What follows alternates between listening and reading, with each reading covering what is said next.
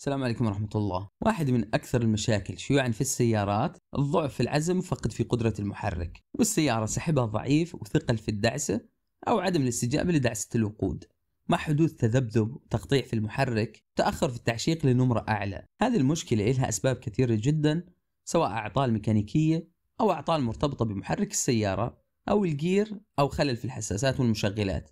في هذا المقطع راح نتكلم بشكل خاص عن أهم الحساسات اللي بترتبط بالعزم وعند وجود أي خلل فيها. راح يتسبب بفقد كبير في قدرة المحرك وبطء عند التسارع لكن في البداية لا تنسى الاشتراك في القناة. أولا حساسات الهواء. في السيارات يوجد نوعين شائعين لحساسات قياس كمية الهواء المتدفقة للمحرك.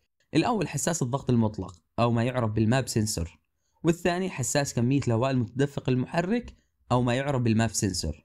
حساس ال MAP sensor غالبا مكانه بيكون بعد البوابة أو ال throttle وبيعتمد في مبدأ عمله على التغير في الضغط المطلق اللي بينتج عن مقدار التغير في فتحة الخانق. كمبيوتر السيارة ال PCM بيعتمد بشكل أساسي على حساس ال MAP لتحديد كمية الوقود المحقونة بالاعتماد على كمية الهواء المتدفقة إلى المحرك.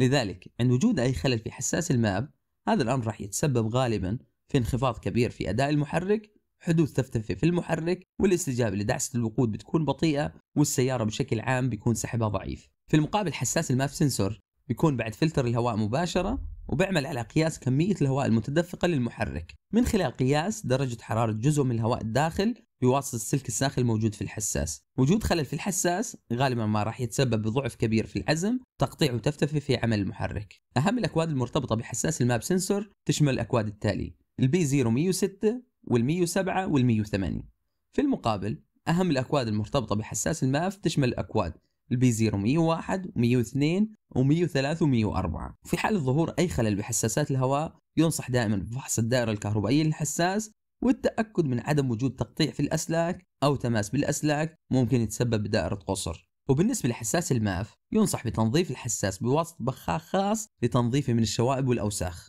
ثانيا حساس الخانق TPS. حساس الخانق من أهم الحساسات المرتبطة بالعزم وجزء أساسي من نظام إدارة الوقود في المركبات. الحساس بيرسل إشارة لكمبيوتر السيارة لتحديد موضع الخانق في البوابة. يوجد سلك يربط بين دعسة الوقود والخانق في البوابة. عندما يتم الضغط على دعسة الوقود تبدأ فتحة الخانق بالفتح بشكل تدريجي. حساس الخانق وظيفته تتمثل بقياس مقدار فتحة الخانق وبالتالي هذا الحساس مرتبط بشكل أساسي بالعزم والاستجابة لدعسة الوقود لزيادة السرعة بالمقدار اللي بتناسب مع مقدار فتحة الخانق لذلك عند وجود أي خلل في الحساس هذا الأمر راح يتسبب بضعف عند التسارع وعدم الاستجابة لدعسة الوقود. في بعض الحالات من الممكن أن تتسارع السيارة بشكل مفاجئ بدون الضغط على دعسة الوقود. وأهم الأكواد المرتبطة بالحساس تشمل الأكواد من ال P0120 ولغاية الكود ال P0124 ثالثا حساس الكامات أو حساس عمود ال timing. هذا الحساس بيعمل جنبا لجنب حساس الكرنك لتحديد موضع المكبس في النقطة المية العليا في الأسطوانة الأولى وفي شوط الضغط. هذا الأمر بيعمل على تحديد توقيت الحقن للبخاخات وتحديد موعد إطلاق الشرارة من البواجي. لذلك عند وجود أي خلل في هذا الحساس راح يتسبب بمشاكل كثيرة جدا ومن أهمها فقد في قدرة المحرك وضعف في العزم. وأهم الأكواد المرتبطة بحساس الكامات تشمل الأكواد من بي 0340 ولغاية الكود بي 0349 رابعا حساس الأكسجين. حساس الأكسجين يوجد قبل دبة البيئة أو الكتلايزر وظيفة هذا الحساس تكمن في قياس كمية الأكسجين الموجودة في غازات العادم. ومن خلال هذه الكمية بيستطيع كمبيوتر السيارة التعرف على نسبة الخليط المحترق وبناء على ذلك بقوم بتعديل كمية الوقود المحقونة في الأشواط اللاحقة. لتقترب من الخليط المثالي. وعند وجود خلل في حساس الأكسجين راح تحدث الكثير من الأعطال. من أهمها زيادة في استهلاك الوقود وزيادة نسبة الغازات المنبعثة في غازات العادم لكن في بعض الحالات على العكس تماما قد يحدث استهلاك منخفض للوقود لكن مع ضعف كبير جدا في العزم وفقد في قدرة المحرك. طبعا يوجد عدد كبير جدا من رموز الأعطار اللي بتشير لوجود خلل أو مشاكل في حساس الأكسجين ومن أهم هذه الأكواد ال P0162 وال P0171 وال P0713 وال P175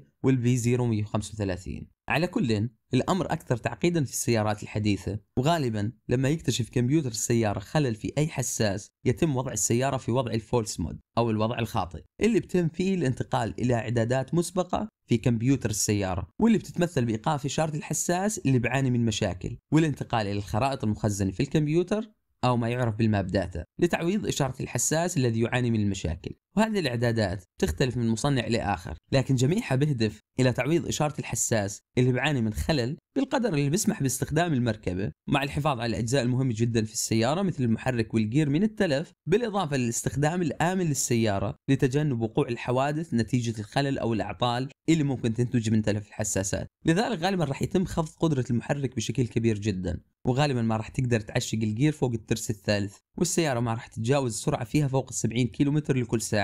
وهذا الوضع يسمى بال limp home أو وضع الطوارئ في السيارات.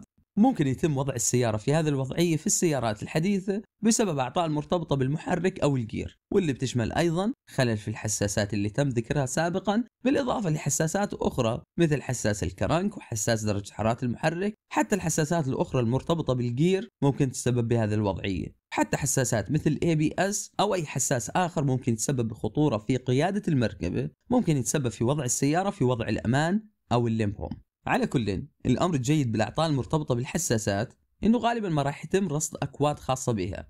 راح يتسبب بإضاءة لمبة ال check engine في لوحة العدادات. الأمر اللي بيساهم بتحديد مكان الخلل أو العطل. في بعض الحالات ممكن ما يتم رصد أكواد أعطال أو تظهر لمبة ال check engine في لوحة العدادات. على الرغم من وجود مشكلة أو مشاكل في حساس أو أكثر من الحساسات. لذلك من المهم جدا استخدام ال data stream أو ال data live لتحديد الحساس اللي بيعاني من خلل